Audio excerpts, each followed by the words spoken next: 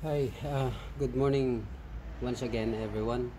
Um, yeah, for today's video, uh, I'm gonna show you how to test the shifting solenoid, overrun solenoid and the uh, line pressure solenoid for this 2011 uh, Y61 Patrol RE4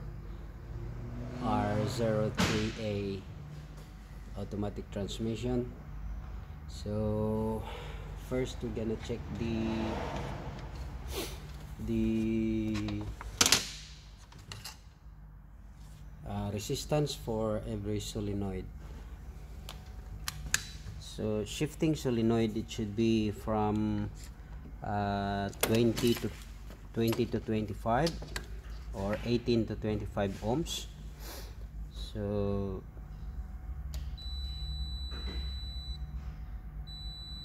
we have here a 24 24 ohms.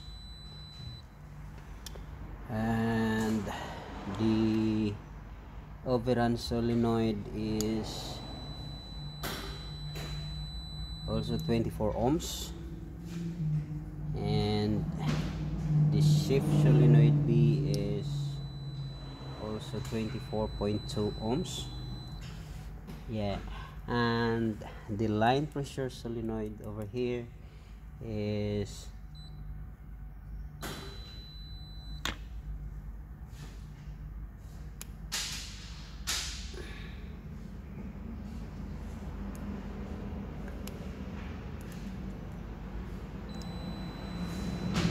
three point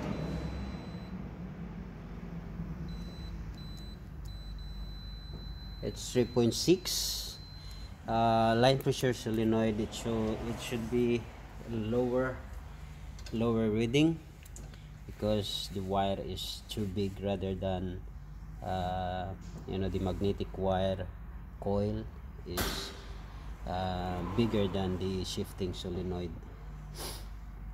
And um, so yeah the torque converter solenoid is uh, around also 13 uh, so that's all that that range of reading is um, really good.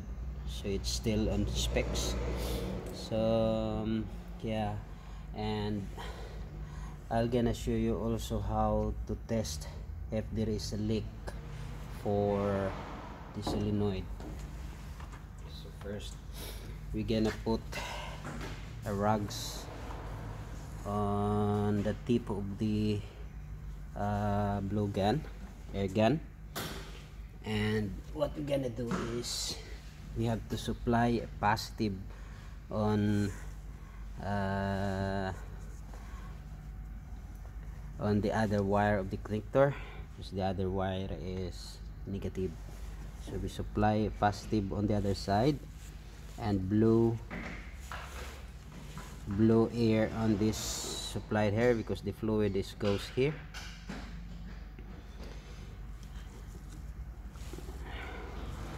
So yeah this solenoid is normally normally open. So when we blow air it's straight away uh, uh, exhausting on the other side. So when we when we supply a positive over here it it will close the the, the flow of uh, fluid. See that? I don't know if, if you can hear it. The clicking of the solenoid once it's click it shut down the line. Yeah that's good because it's not leaking. And on the other side also